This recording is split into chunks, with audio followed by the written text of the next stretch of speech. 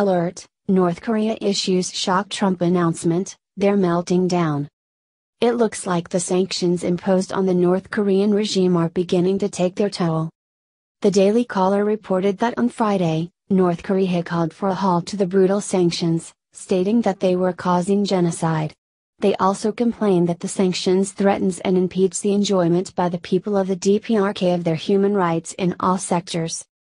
It was the North Korean mission to the United Nations in Geneva who made these statements. They made their plea while President Donald Trump embarked on an 11 day tour of Asia. Some of the countries he will visit are China, South Korea, and Japan, all of which have a vested interest in halting Pyongyang's nuclear program. The international community has intensified their efforts to pressure North Korea to abandon its nuclear ambitions.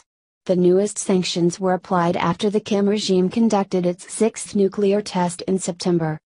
In response to the nuclear test, the United States unilaterally imposed sanctions on seven North Korean citizens as well as three North Korean organizations.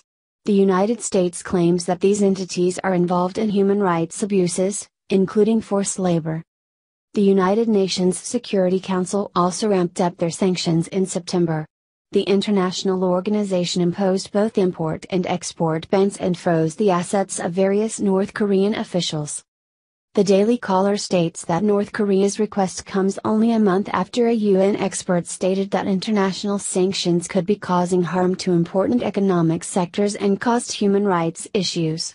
The North Korean mission claims that the sanctions are blocking the delivery of important medical supplies. All types of anti-human rights and inhumane sanctions against the DPRK should be terminated immediately and thoroughly, it said.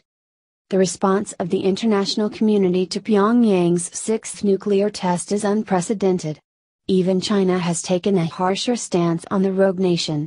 They cut mineral imports, restricted fuel exports, and ordered financial institutions to cease doing business with Pyongyang. While North Korea has faced sanctions previously, it has never dealt with this level of punishment. Ri Jong-ho, a former North Korean official who managed the regime's finances stated, I don't know if North Korea will survive a year, under, sanctions. He added, the sanctions that the White House has imposed on North Korea are of a historic level, never before has the country faced such tough sanctions. North Korea's mission to the UN highlighted the issues their citizens are facing as the result of the sanctions, but there was an important piece missing the Kim regime's responsibility in this matter. The reality is that Pyongyang has never truly cared about the suffering of its people. Previously, in the face of sanctions, Kim Jong il, the father of the current dictator, allowed his people to starve rather than cease North Korea's nuclear program.